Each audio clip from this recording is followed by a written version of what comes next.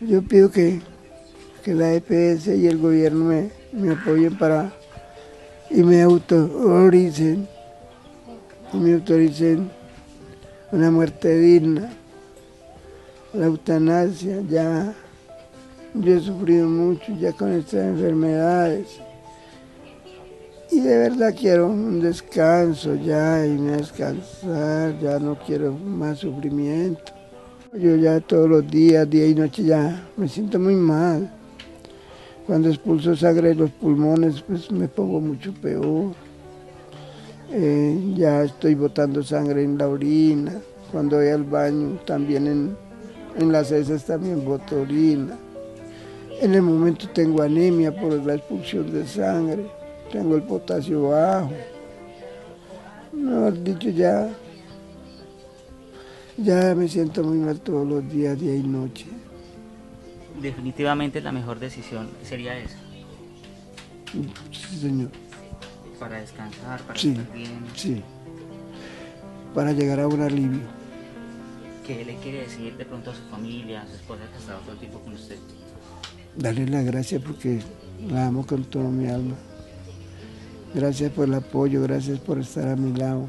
A mi familia, gracias por permitirme haber sido parte de todos ellos de que me acojan y que me han acogido con mucho cariño, con mucho amor.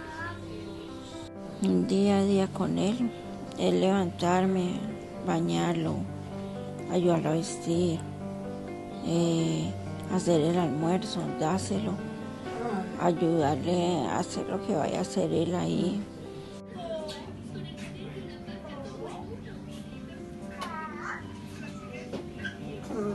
Es tocar puertas para ver qué le dicen a él, qué le responden a él.